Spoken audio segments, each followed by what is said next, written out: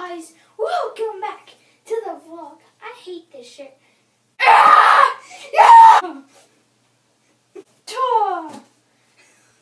Oh, that's better. That's much better, guys.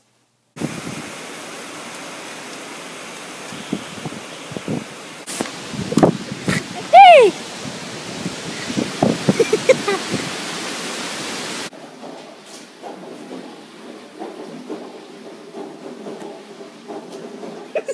Do you see that wig right there? That wig right there?